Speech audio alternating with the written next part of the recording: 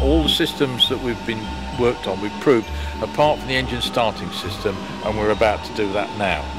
So you'll either see the propellers rotate, or you'll hear a lot of hysterical laughter.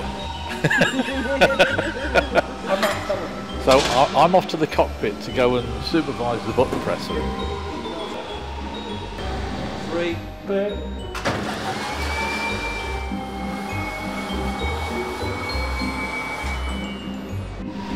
Excellent. It's made my day, that has. Britain's powerful Lancaster bombers, preparing for another night raid on Nazi Germany. The Lancaster was one of the most versatile bombers of the Second World War and brought about a change in Bomber Command's tactics and success. Away and over the sea they roar, loaded with bombs. Each bomb big enough to blast an area of 10 city blocks. Its ability to carry huge weights allowed Tallboy and Grand Slam bombs to be used to target viaducts and rocket installations. Just Jane first arrived here at Lincs Aviation Heritage Centre in 1988. Restoring her to flight is the biggest project the museum has ever undertaken. The centre is a family-run centre. It was originally set up by my grandfather and great-uncle. So I was one when the aircraft came here um, on trailers into the, the, museum here. So I've known nothing but the, the museum and the Lancaster. It, it is my life really. I guess the aircraft's more of a family member than it is a, a museum asset. There's that saying of how do you eat an elephant and it's a bite at a time. So if we look at the project as a whole, it looks like a massive undertaking and a big deal.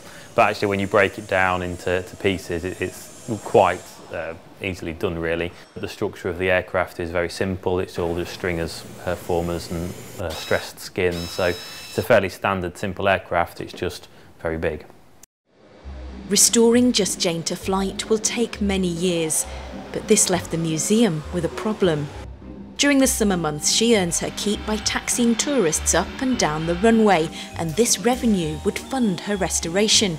She couldn't simply be taken out of action for a matter of years. Instead, they began contacting aviation museums around the world, asking for donor Lancaster parts. France lent them some old wings, a crushed rear fuselage came from Yorkshire. Bit by bit, they're fixing the old donated parts, switching them on to Just Jane so she can still operate, restoring her original parts, then swapping them back. Eventually, she'll be fully restored without missing a season. What is? Um, we've got to order new bolts for this, so we've got to make sure with the ones we order are not too long. So I'm measuring all the depths of the hulls with this.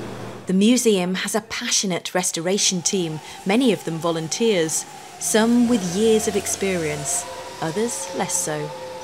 Uh, look, I sort of want to be part of the success of this. I want to see this thing, I want to live long enough to see this thing go in the air, you know. I was office, office job, yeah. Clean hands, but not anymore. Across the hangar, Dave is fixing up an old donated fuselage so they can swap it out and restore just Jane's own. This is what we're faced with initially was, because um, obviously it'd been crushed by the, the hangar roof falling, so we've had to make brand new ones like these. So all the cutouts and lighting holes to put in, and then once that's all in position, uh, you can see the new ones in blue. It's an iconic aircraft that everybody in Lincolnshire um, can relate to. So um, the fact that there's only two in the world that are flying, if we get this one flying number three locally, it would just be wonderful. One of the first things we did when we decided to get the aircraft airworthy was to order four airworthy engines. Um, these are them here. So we uh, we had one originally from the aircraft which was restored, and then we managed to source three others. Um, they're all original wartime engines, um, but hadn't been running for potentially 50, 60 years uh, when we bought them. They cost about £100,000 um, each to overhaul, um, and they're worth around 130, 140,000 pounds each. Uh, biggest problem being, of course, there's four for a Lancaster, so it's it's quite a healthy investment um, and cost to, to keep them running. Each engine is uh, allowed to run for about 500 hours be between overhauls. So after each 500 hour period, it then goes away to be overhauled for another uh, £100,000 to be zero houred again. Um, so we need to have some spares as well to, to rotate through the aircraft. Back in the hangar, electrician Spen has another instrument to test. The pitot system uses airflow through a tube to measure the speed the aircraft is moving through the air. Because Just Jane is clearly stationary, Spen is pumping air down the pipe, simulating the aircraft moving to see if it works. You should see the airspeed indicator start to come up um, as I put more and more pressure. So if you imagine the faster the aircraft goes, the higher the pressure is in the system. And we should be approaching about 115 knots now. A lot of this stuff um, was still in use in the in the 80s and the 90s.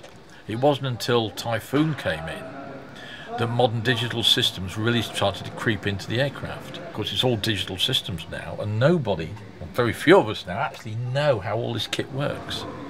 I'd retired and I was uh, and I wanted an outlet for my well, to keep you sane basically because you can only sit at home so long watching daytime TV before your brain dribbles out your ears. The whole aircraft needs rewiring if Just Jane is to pass Civil Aviation Authority standards, but Spen is in it for the long run. Just uh, mind your head as you come up. As long as health dictates that I can do it, I shall do it. You sit in the pilot's seat and you look around you and you just think, Wow. How on earth did they do it? It's very cramped in there. It's like a reverse TARDIS. Uh, it's easy to get into, but it's very difficult to get out of, especially if you're in a hurry. And you, you, you, you think, what brave men they were. They really were. And you talk to some of the old boys, and you say, well, weren't you scared? And I said, well, during the briefing, yeah, we were terrified. But once you're on board, the engines are running, you taxi it, you can't go anywhere. You've just got to settle down and get on with your job and hope you make it back. What more can you say? It's what it represents rather than, than what it is, really. To us, it represents the lives of, of those that lost their lives on Bomber Command during World War II. So getting a flying again is, is kind of the ultimate memorial that the most we can do in memory of Bomber Command. So it, it signifies an awful lot to us and, and to a lot of people.